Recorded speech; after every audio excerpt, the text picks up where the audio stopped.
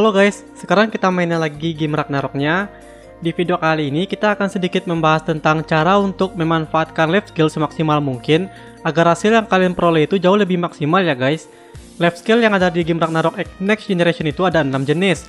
Yang pertama ada fishing, gardening, mining, sama smelting ya guys. Terus juga ada cooking uh, sama crafting. Khusus untuk crafting hanya bisa dibuka oleh uh, role blacksmith ya guys dari 6 jenis life skill ini mana nih yang paling worth it untuk dikerjakan? Nah, di sini kita bakalan bahas satu persatu ya guys. Tapi sebelum itu jangan lupa untuk klik subscribe dan juga aktifkan loncengnya agar kalian selalu mendapatkan update seputar informasi game lainnya dari kita ya. Oke, sebelum kita bahas life skill mana aja yang harus dikerjakan, di sini gue bakalan jelasin dulu satu persatu tentang masing-masing life skill sekaligus cara cuan dari life skill tersebut ya guys. Yang pertama, ada fishing. Uh, di fishing, kalian bisa memancing beragam jenis ikan yang nantinya beberapa ikan tersebut bisa kalian gunakan untuk jadi salah satu bahan membuat bahan upgrade atau juga bahan refine guys. Jadi, gak semua ikan di fishing itu bisa kalian jual dengan harga mahal dan tentunya tidak semua juga bika, uh, bisa bikin untung ya guys. Uh, maka dari itu, agar kalian mendapatkan ikan yang kalian inginkan, kalian itu wajib menggunakan umpan tertentu berdasarkan jenis ikan yang kalian inginkan. Di sini bisa kita lihat ya, Nah, masing-masing ikan itu ada jenis uh, umpannya masing-masing guys. Nah, contohnya kayak gini ya. Nah, umpannya itu bisa kalian dapatkan di Alberta. Tapi kekurangan dari fishing itu kalian bakalan boros banget sama Jenny guys karena untuk membeli umpan fishing tersebut harganya lumayan mahal banget menurut gua. Nah, gimana sih cara cuan dari fishing? Jadi, ada beberapa jenis ikan yang harganya lumayan mahal dan worth it untuk dijual dan atau digunakan.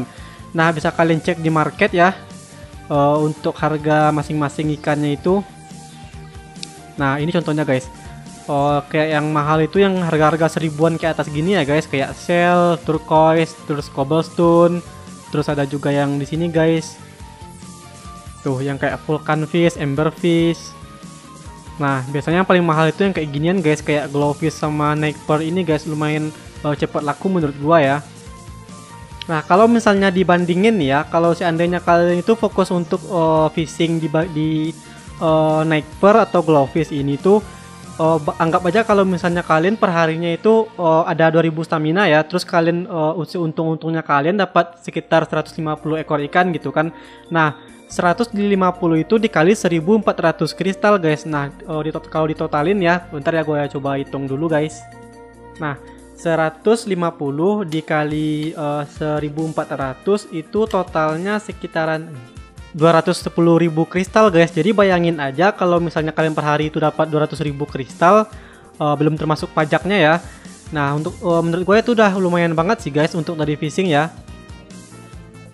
Jadi kalian itu fokusnya di ini aja guys, glowfish uh, sama naik per ini ya. Gue tuh belum coba ke ini sih, ke kayak higher uh, maksud gue yang Sandfish sama Maple Leaf uh, Leaf ah apaan ini? Nah yang pokoknya ini ya guys yang kayak gini nih ya. Uh, gue itu belum pernah cobain guys. Cuman kalau selama gue main ya uh, yang paling cepat lakunya itu ya kayak glowfish ini guys. Karena butuh banget untuk refine senjata atau uh, aksesoris kan. Jadi mending kalian fokus di sini aja guys. Oke okay, uh, itu ya cara penjelasan tentang life skill fishing sama cara cuan dari fishing. Nah sekarang kita bakalan bahas uh, life skill selanjutnya guys.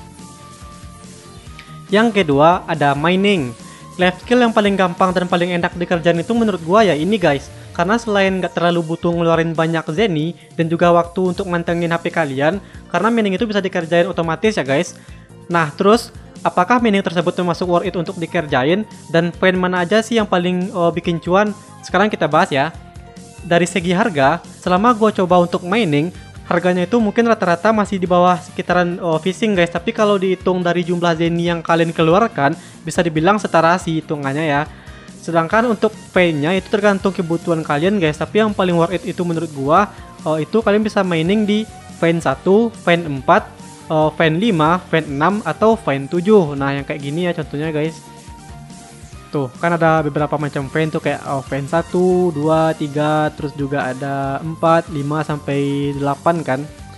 Nah, itu kalau yang paling cuan menurut gue itu di fan 7 guys. Karena dari segi uh, item yang kalian dapatkan itu levelnya itu juga lumayan tinggi ya guys. Jadi untuk kalian yang lagi fokus mining mending kalian fokusin dulu untuk naikin ke level 7 guys. Baru setelah itu oh, kalian pakai sendiri atau kalian jual ya nah kenapa gua nyaranin di fan 5 atau 6 karena kebanyakan dari orang-orang kan pasti oh, nyaraninnya itu di fan 1, 4, 7 oh, gitu doang kan. Nah karena menurut gua di fan 5 itu bakalan ngasih kalian bahan refine yang lumayan banyak guys. Sedangkan untuk fan 6 bakalan ngasih kalian banyak banget bahan upgrade level 3 oh, yang kayak gini contohnya ya.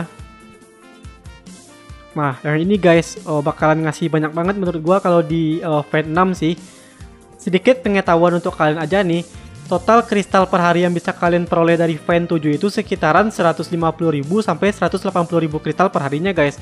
Itu belum termasuk pajak ya. Tapi gue saranin untuk kalian yang lagi fokus di mining, usahakan untuk sisain stamina kalian 100 sampai 200 stamina guys.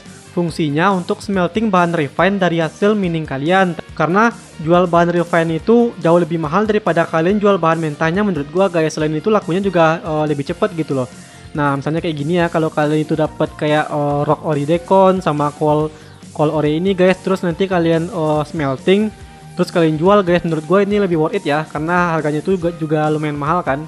Nah, ini juga kalian smelting aja guys, sekalian buat naikin level smelting kalian ya. Yang ketiga ada gardening. Kalau kalian pengen ngerjain life skill yang tanpa harus keluar Zeni, menurut gua sih ini yang paling worth it ya. Tapi sayangnya, life skill ini tuh yang paling diincar sama para petani guys rata-rata spot gardening yang harganya lumayan mahal itu udah rame banget yang nungguin guys. Nah ini contohnya ya bisa kalian lihat di sini kan, udah pada ngantri gitu guys tuh, lihat kan? Nah sayangnya daripada mereka ini itu juga kebanyakan pakai makro guys atau alat-alat oh, yang ilegal gitu kan. Jadi ya untuk bersaing sama mereka ini lumayan sulit menurut gua ya. Nah daripada kalian itu habisin waktu untuk rebutan di gardening, mending kalian kerjain life skill yang lain dan sisa waktu kalian bisa kalian gunakan untuk grinding nyari kartu guys. Kecuali kalau kalian pakai makro ya silahkan digas aja sih. nah sedikit tips juga, sebelum kalian gardening kalian itu wajib tahu dulu laporan cuaca di lokasi dan juga waktu panen dari bunga yang kalian incer guys. Nah di sini bisa kalian lihat ya. Nah misalnya gue kasih contoh di sini. Uh, kayak bunga yang ini guys. Ini kan bisa kalian lihat bisa kalian uh, panen di menjual Near Mountain sama Labyrinth Forest. Terus waktu penumbuhannya itu di morning sama evening guys. Nah kalian lihat kan? Sedangkan untuk mengetahui cuacanya kalian itu tinggal pencet di map. Terus ah bisa kalian lihat di sini guys. Ada kayak evening haze terus juga ini haze terus haze juga terus ada cuaca steri nah itu cuacanya guys. Nanti kalau misalnya udah drizzle gitu kan kalian itu bisa uh, gardening di sini guys. Karena kalau misalnya drizzle itu waktu delay dari uh, gardening ini bakalan mengurang guys. Jadi kalau kalian pengen gardening mending kalian tunggu dulu cuacanya itu lagi drizzle ya guys atau lagi hujan gitu ya. Sedangkan untuk cuan dari gardening kalian bisa cek harga setiap tanamannya di sini guys. Untuk gardening ini lumayan mahal-mahal ya uh, harga uh, item-itemnya. Nah di sini bisa kalian lihat di sini tuh tuh ada 1500 per item terus juga 1600 nah sedikit kalian ketahui guys untuk satu kali gardening ini tuh butuh 20 stamina ya guys tergantung dari mana yang kalian garden. Sedangkan untuk yang kayak murah-murah yang ini terus juga yang oh ini tuh cuman butuh satu stamina guys. Sedangkan untuk yang mal-mal kayak gini tuh butuh 20 stamina guys. Jadi ya tinggal kalian cari aja mana yang paling worth it. Terus juga yang kayak gini tuh lumayan mahal guys. Nah yang kayak gini ya tapi kalau menurut gua sih ini tuh kurang worth it ya untuk kalian uh, kerjain karena harganya itu lumayan mahal guys. Ya maksud gua itu lumayan murah gitu loh. Oh, bayangin aja kalau dari 2000 stamina kalian bisa 100 kali gardening terus dapatnya seribuan gini paling uh, kristal yang kalian dapatkan per harinya itu cuma seribuan doang, 100 eh, ribuan doang guys. Jadi menurut gua kurang uh, kurang worth it untuk dikerjain ya. Nah, yang mahal yang mahal-mahal itu tuh yang kayak gini guys, kayak uh, Firefly Leaf, terus juga kayak ini guys, Grim Grass gitu kan. Cuman masalahnya ini tuh rebutan banget guys. Gua udah pernah nyoba ya buat ke sana. Itu tuh ya sangat ributan gitu kan. Jadi uh, bisa dibilang oh, seharian doang gue ke sini cuman oh, stamina gue tuh nggak ngurang-ngurang gitu kan jadi ya menurut gue lebih baik kalian tuh ngerjain fishing atau mining aja sih guys daripada kalian ngerjain gardening gitu selanjutnya ada smelting, cooking, sama crafting. Khusus untuk crafting yang ini tuh oh, nggak bisa kita kerjain ya guys, jadi kita tuh nggak uh, usah bahas dulu karena yang bisa kerja ini cuman uh, blacksmith guys. Nah untuk smelting kalian itu bisa bikin bahan upgrade, bahan refine, terus juga bahan uh, enchant itu di sini guys. Selain itu hasil smelting juga bisa kalian jual, tapi sayangnya kalau dihitung-hitung ya dari hasil smelting itu nggak worth it banget untuk dijual guys. Karena selain ngabisin stamina, hasil jualannya itu juga nggak ketutup sama pajak marketnya gitu loh. Ya kalau misalnya kalian uh, pengen smelting bahan sendiri sih nggak masalah ya, tapi kalau kalian beli bahan di market terus kalian smelting dan kalian jual lagi itu bakalan rugi banget menurut gua. Kecuali kalau kalian pengen naikin level smelting kalian ya terserah kalian guys. Sekalipun itu bahan yang kalian cari sendiri, tetap aja sih rugi menurut gua ya. Masih mending kalian itu jual bahan mentalnya daripada kalian itu jual hasil smeltingnya guys. Nah di sini kita lihat contoh salah satu contohnya ya yang kayak ginian ya. Nah yang kayak ginian guys. Ini 12 ribuan kan. Nah kalau dihitung-hitung dari bahan yang kita perlukan untuk bikin itu, uh, ini bisa gua kasih lihat. Nah, yang ini guys, itu butuh upgrading metal level 3 12 biji. Di sini harganya berapa ya? Uh, nah, 670 kalau dikali-kalikan 670 dikali uh, 12 bentar ya.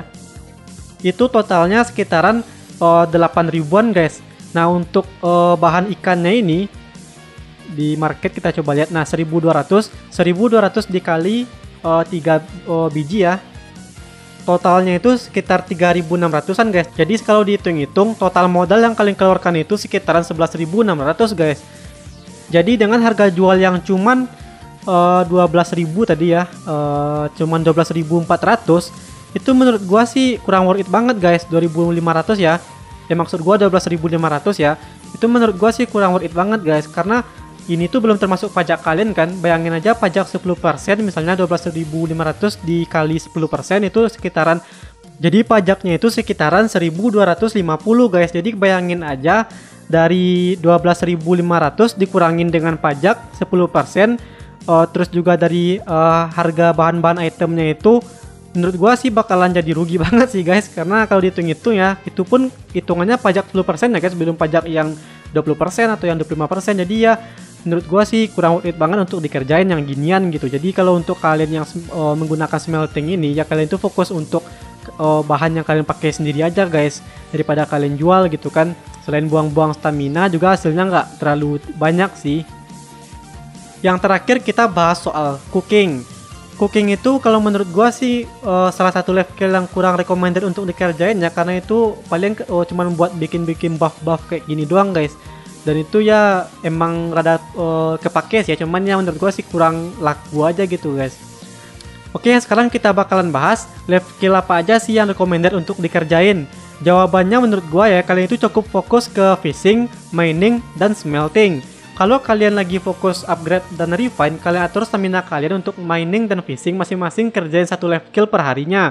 Dan kalian di hari selanjutnya, kalian smelting semua bahan yang kalian peroleh, terus kalian upgrade deh itu equipment kalian gitu kan. Sedangkan untuk oh, enchant, kalian cukup kerjain fishing atau mining aja guys. Nanti hasilnya bisa kalian jual. Kecuali kalau misalnya kalian itu mining terus dapat batu enchantnya, itu nggak perlu dijual ya guys. Kalau misalnya nanti kristalnya udah kekumpul, baru setelah itu kalian borong hasil gardening untuk selanjutnya kalian smelting jadi bahan enchantnya guys. Oke, sampai di situ paham ya guys? Nah, mungkin sampai di sini dulu video kita kali ini. Kalau kalian suka video ini, jangan lupa untuk klik like dan juga subscribe-nya. Sampai jumpa lagi di video selanjutnya. Bye-bye.